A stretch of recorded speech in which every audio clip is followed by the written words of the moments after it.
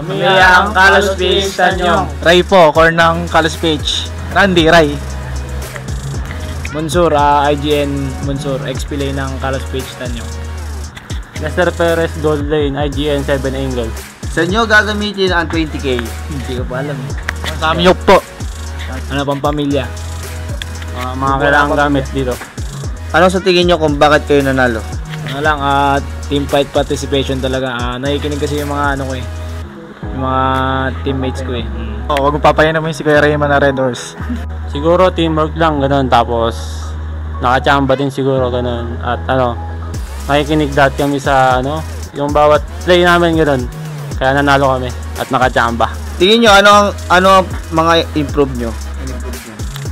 Siguro na switch lane kami ni Rai na, na maging core, ano, maging core siya tapos maging gold din ako. Yun, na balance yung team namin. Wala pa nagbago eh. Sa amin yung ano, nung una kasi hindi talaga nakikinig yung ano namin eh.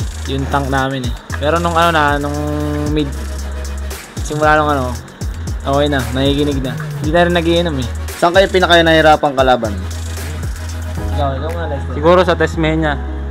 Mena. Tasmania. Dahil na-open namin yung best pick nung core nila. Pero mas malakas ako doon.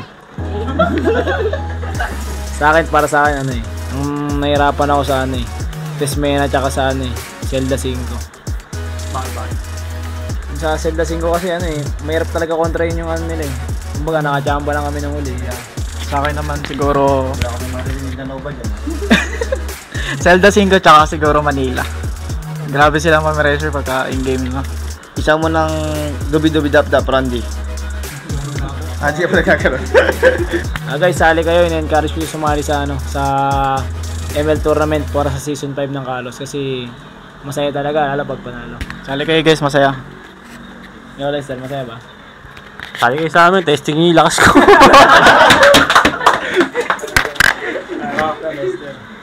Ah, 20k, 20k.